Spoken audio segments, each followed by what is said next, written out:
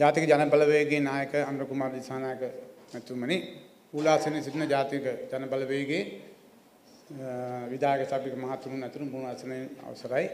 ඒ වගේම මගේ හිතවත් සියලුම වින්දూరు වෘත්තීය නිලන මහත් මහතුරුන්ගේ අවසරයි. ඉස්සල්ලා මම ස්තුතිවන්ත වෙනවා සංවිධායක මණ්ඩලයට මට මේ සභාවට ආරාධනා කිරීමත් වචන ස්වල්පයක් කතා කිරීමට ආරාධනා කිරීම සම්බන්ධයෙන්. ඇත්තටම අපි අද සුවිශේෂ රැස්වීමකට ඇවිල්ලා තියෙන මේක ඇත්තටම මට අලුත් අත්දැකීමක්. මොකද මිලින්දෝර වෘත්තිකයෝ කියපුවාම කවුරුත් දේශපාලන රැස්වීම වලට මම දැකලා නැහැ කවදාවත් නිරත වෙනවා. එක්කෙනෙක් දෙකෙනෙක් ඉන්න ඇති දේශපාලනේ නිරත වුණා. නමුත් කිසිම දවසක මම මගේ අවුරුදු 40ක් වගේ කාලයකදී දේශපාලන මිනින්දොරු යොමු වෙලා හිටියේ නැහැ. මේ වගේ රැස්වීමකට මෙච්චර ප්‍රමාණයක් පැමිණීම දේශපාලන රැස්වීමකදී එකතු කර ගැනීමට ලැබීම විශාල පුදුමයක්. මට ඇත්තටම අද තාම සුවිශේෂ දවසක් ඒ වගේ රැස්වීමකට මේ වගේ පිරිසක් සියලුම ශේෂ්ත්‍රයන් නිර්දේශන බලයලත් මිනින්දොරුන් මිනින්දොරුන් සියලුම අය නිර්දේශන කරමින් පැමිණීම. ඇයි මේ අපි මෙතනට ඇවිල්ලා ඉන්නේ? එහෙම වෙන්න හේතුව මොකක්ද? මෙතන ඉන්න ඔක්කොම මිනින්දොරු මහත්තුරු යම්කිසි ආර්ථික පදනමක් සහිතව එච්චර අපහසුතාවයක් අනිත් අයට සාපේක්ෂව අපහසුතාවය නෑ අනිත් අයට සාපේක්ෂව එහෙම ආර්ථික ස්ථාවරතාවකින් ඉන්න කට්ටිය. නමුත් මේ ඔක්කොමලා මේ වගේ එකදී එකමුතු වෙන්න හේතුව මොකද ඒ හැමෝටම තියෙන කැක්කුමක් අපේ රට ගැන. අපේ ඔක්කොගේම ඒකායන අරමුණ මේ වැටිච්ච රට මෙතනින් කොහොමද ඔසවලා තබන්නේ කියන අරමුණෙන් තමයි මම හිතන්නේ අපි ඔක්කොමලා එකතු වෙලා ඉන්නේ. එතකොට මෙහෙම විච්ච රටකට අපි නව ජීවනයක් දෙන්න අපි මේ පොළවේ පය ගහලා ඉන්න මිනිස්සු හැටියට අපි මිනින්දෝ වරසෙන් හැමදාම මහ පොළොවත් එක්ක හැප්පුණේ.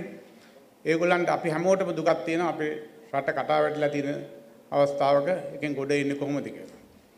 මම විශ්‍රාම ගත්තේ දැන් අවුරුදු 4ම 5කට විතර 2020 මාතලේ ප්‍රදේශයට ගියා අපි පදිච්චියට නුනත් එක්ක ඉතින් අපි ළමයි දරුවෝ ලොකු නිසා විශ්‍රාම සුවයක් ගත කරන්න මේ සැදී පැහැදිලා මාතලේ ප්‍රදේශයේ ඉන්නකොට මුලින්ම කොරෝනා වසංගතය පැමිණුණා. කොරෝනා වසංගතය පැමිණිලට ඒක අවුරුදු දෙකක් යනකොට රට විශාල අවපාතයකට භාජනය වෙලා හිටන් ආර්ථික වශයෙන් කඩාවැටීම ලක් වුණා. ඒත් එක්කම අපිට දැනගන්න ලැබුණා රට බංකොලොත් භාවයට පත් වෙලා තියෙනවා. එතකොට අපි තෙල් පෝලිං වල, ගෑස් පෝලිං වල ඉන්න වුණා ශාල අර්බුදයකට මුහුණ පෑව රට.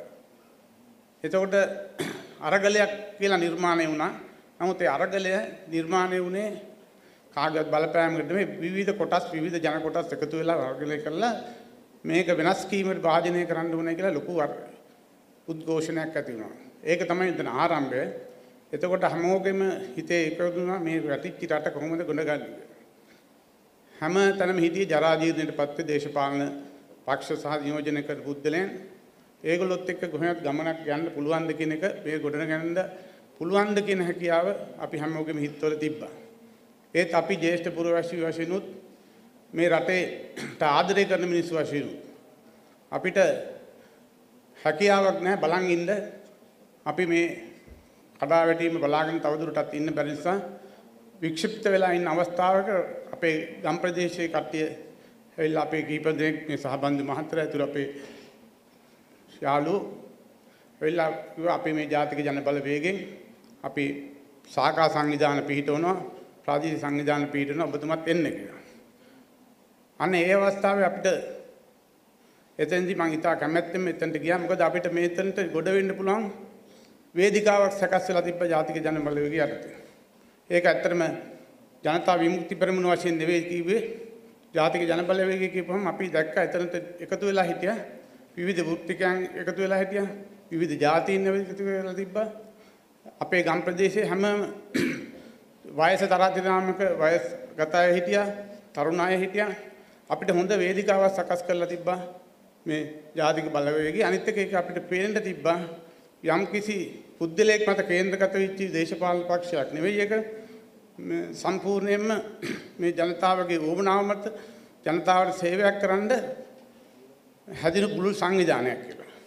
ඉතින් මං ඉස්සල්ලාම මගේ කත්- දේශපාලන වේදිකාව කතාවක් පැවැත්වුවේ ඒ ප්‍රාදේශීය මණ්ඩල පිහිටින අවස්ථාවේ ජාතික ජන බලවේගයේ. ඉතින් එදා ඉඳන් අපි ලොකු ගමනක් ඇවිල්ලා තියෙන ඉස්සරහට අද වෙනකොට මං හිතන්නේ එකතු වෙච්ච ගැම්මට තව ගොඩාක් අය දැන් එකතු වෙලා විශාල මේ පරාසයකින් ඉදිරියට ඇවිල්ලා තියෙනවා මං ස්තුතිවන්ත වෙනවා මේ අනුරු කුමාර සහෝදරයාට මොකද එතුමා තමයි මං හිතන්නේ නායකත්වය ගත්තට පස්සේ වෙනත් දිශානතියකට මේක යොමු කළේ මේ අපි හැමෝටම එන්න පුළුවන් අ, වේදිකාවක් NPP නමින් හදලා දෙන්න සම්පත්.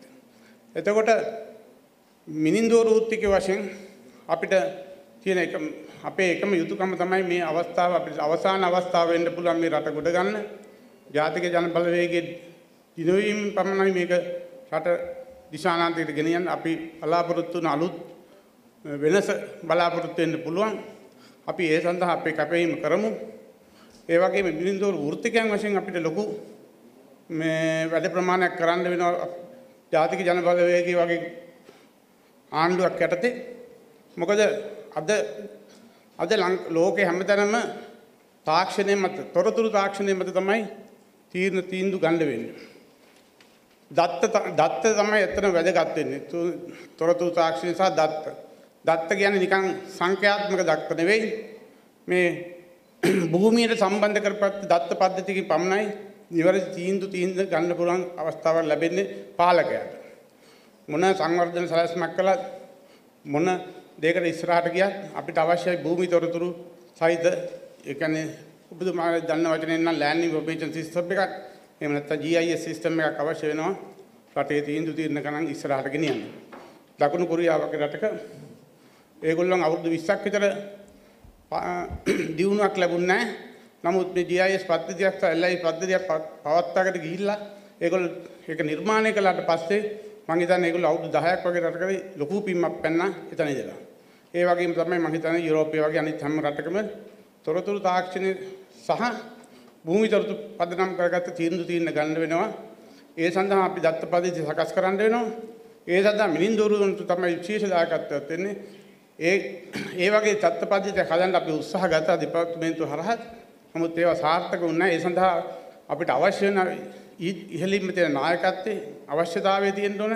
එහෙම එහෙම විදියක් යටතේ අපි බලාපොරොත්තු වෙමු.